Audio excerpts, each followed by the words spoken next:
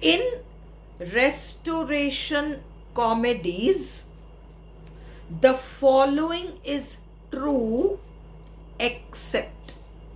So now they are going to give you four options. Three of those options will be correct and one of them is going to be wrong. Although you know what restoration comedies entailed, the way they frame the sentences, you are likely to get trapped. So let us look at the four options. The first option is the London life of hedonistic young men is portrayed. If some of you do not know what hedonistic is, forget it. Don't waste your time thinking what that word is about. The London life of young men is portrayed. Second, names encapsulate traits. So the names and the qualities match. Suppose we look at a play like Sheridan's uh, The Rivals. Sheridan's The Rivals is a much later play, you know, much later play than the the truly the restoration plays. But still there is a character called Lydia Languish. So the name encapsulates her qualities. She's languishing in love traits. Names and traits will match. So this is there. This is there in restoration plays. The first, the London life of hedonistic young men is portrayed. Yes, the life of young men is portrayed. The names encapsulate traits. Yes. Third, unchaste women, widows and cuckolds scarcely make an appearance. And the fourth option is the heroines seek a say in the choice of a marriage partner. Now, if you don't read the options properly, what you will do is you'll get stuck in, you know, those big words that you may not know the meanings of or you might get stuck in one option and you might get puzzled and you might think, was this there, was this not there? Leave it. The answer is very, very clear. But they have done something, they have twisted it in some way. Now look at the fourth option. The heroines seek a say in the choice of a marriage partner. Now you'll wonder whether this was there. Was this there in any play? Was there a heroine who wanted to say that, you know, my choice of marriage partner should prevail? So you, you'll stop there. Don't do all that. This was a feature of uh, restoration comedy. The answer is the third option, unchaste women, you know, women of loose moral character, widows and cuckolds, you know, where the woman is uh, sort of being very deceitful, she's being unfaithful to her husband, and so the poor husb husband is getting cuckolded. Scarcely make an appearance. This word scarcely, hardly. Is it true that in restoration comedies, women of loose character scarcely put in an appearance? No. In restoration comedies, women of loose moral characters were almost always present. This was a feature of restoration comedy.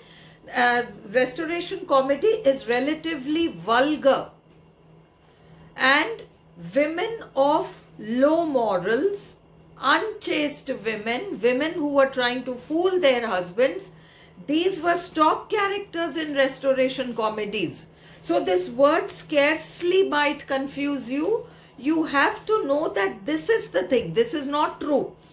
Unchaste women, widows and cuckolds scarcely made an appearance. No, they almost always made an appearance.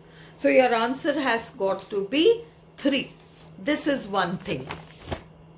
Let us look at two more questions similar to these where you might get trapped. Let me read out the question. Which is not a characteristic of the Victorian age? Which is not? Go through those not questions properly and see the options properly.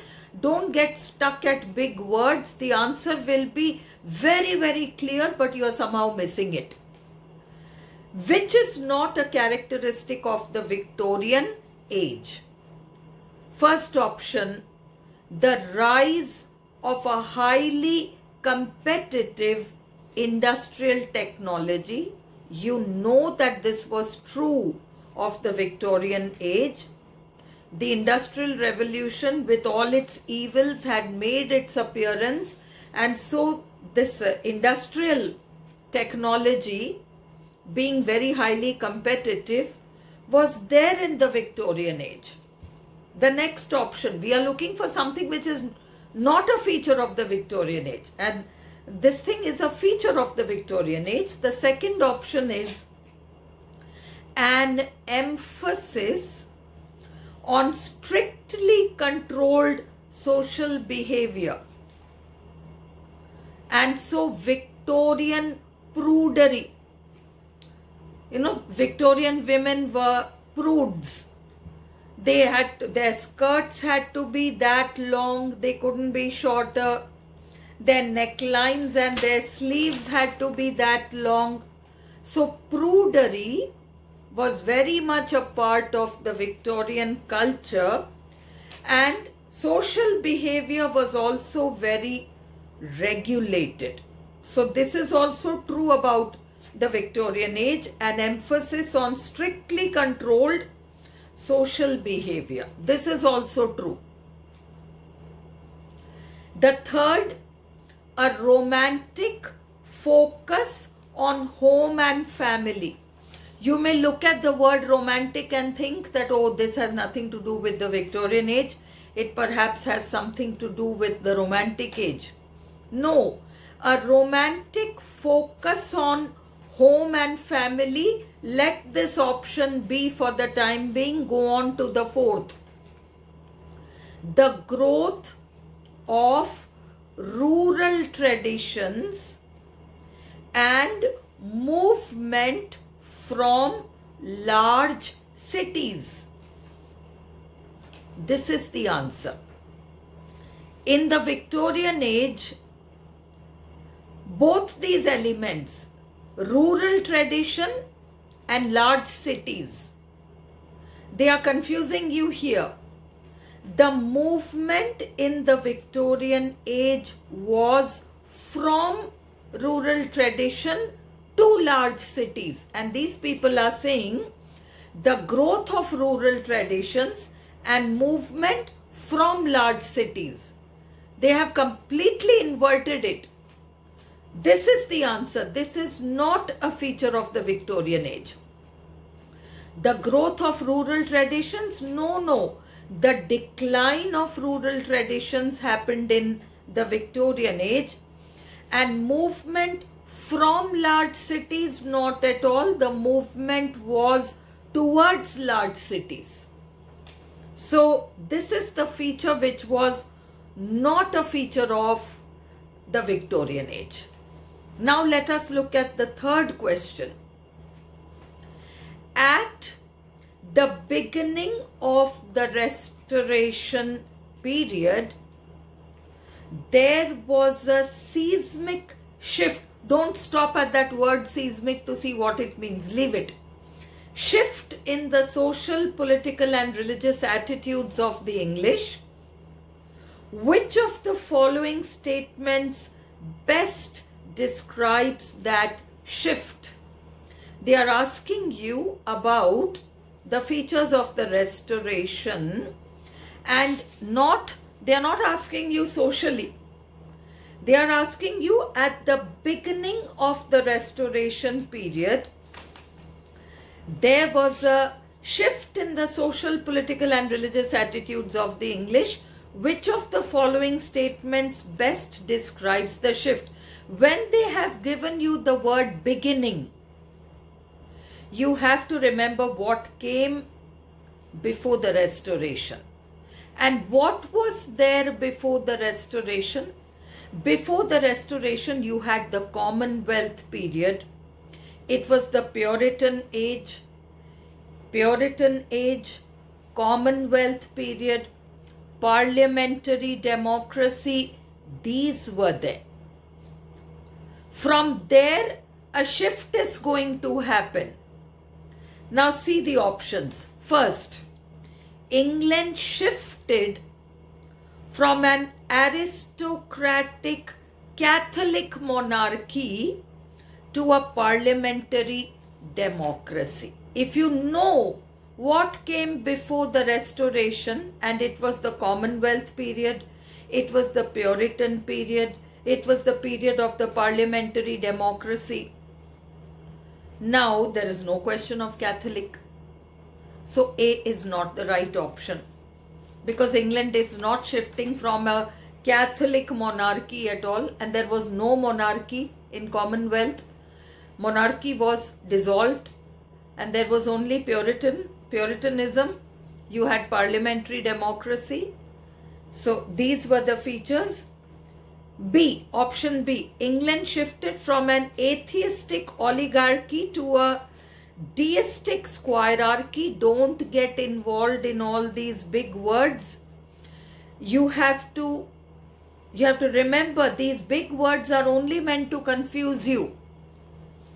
Third option, keep the second option because you may not know the meanings of all these words. Third, England shifted from a republican Puritan Commonwealth to an aristocratic Anglican monarchy.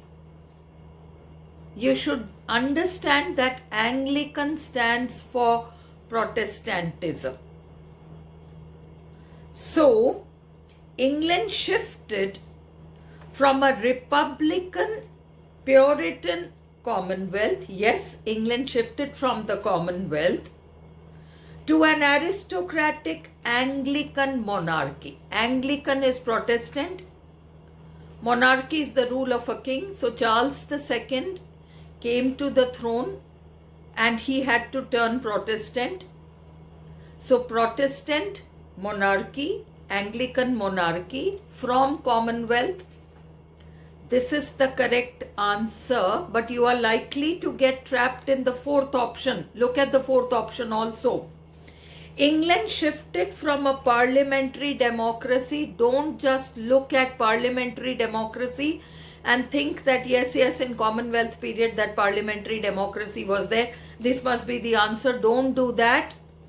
To an aristocratic Catholic tyranny you have to remember that although James II, the brother of Charles II, was a Roman Catholic, Charles II himself had to turn Protestant in order to become the King of England in 1660. And so England did not move from parliamentary democracy to Catholicism England moved from parliamentary democracy to Protestant and monarchy. So your option should be, your answer should be 3 and not 4. 3 and 4 at a quick glance they may appear similar but the third has the word uh, you know which stands for Protestantism and the fourth has the Catholic word which is wrong.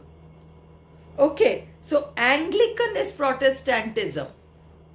And that is the truth. Charles II became king and he had to become Protestant. You have to remember this. You'll have to check the options and see where you're likely to get trapped. Practice in this way.